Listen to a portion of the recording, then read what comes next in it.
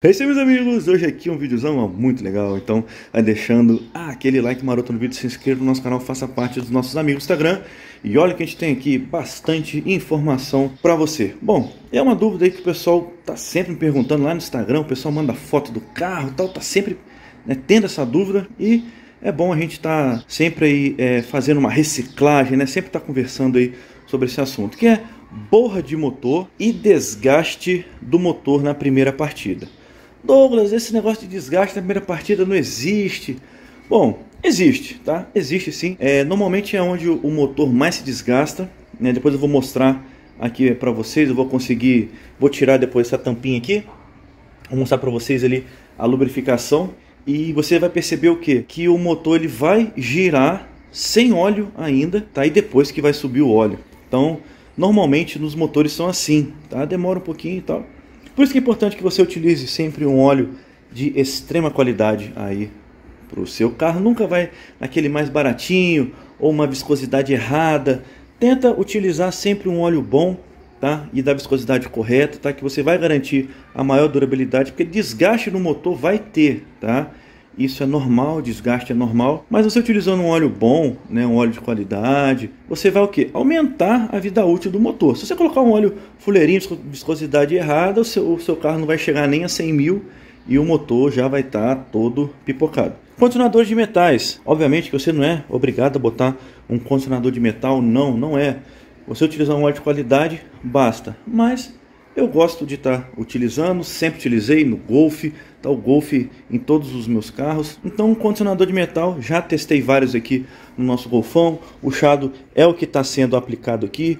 Estou gostando muito, aprovo, recomendo bastante. Esse motor que eu estou utilizando já há muito tempo, a norma 50888, é um lubrificante de extrema qualidade também, ele tem um poder de limpeza maior, então o motor aqui agradece, o motor aqui está top.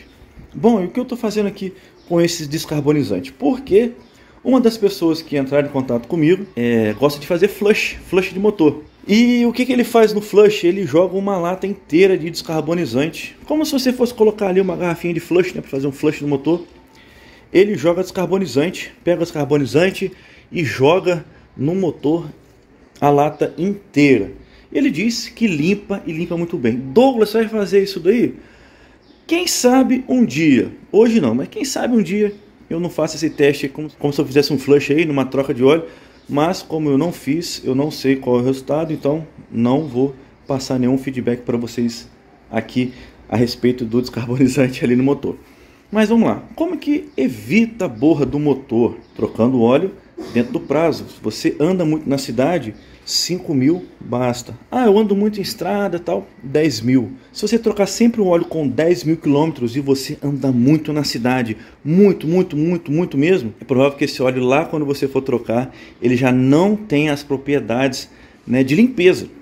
Então, é, e pode criar borra. Combustível ruim também faz acelerar o processo de borra. Então, então se você trocar aí com 5 mil, pô, é legal, tá? Mesmo utilizando gasolina, você não vai ter problema nenhum. E é verdade que o maior desgaste do motor é naquela primeira partida, a partida frio, né? a partida de manhã, quando você vai sair com o carro?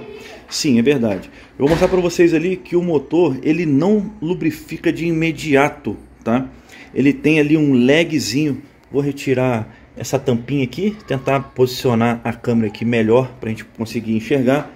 E vocês vão ver o que? Que o óleo demora um pouquinho para subir e esse pouquinho aí tá? é onde tem ali o desgaste do motor.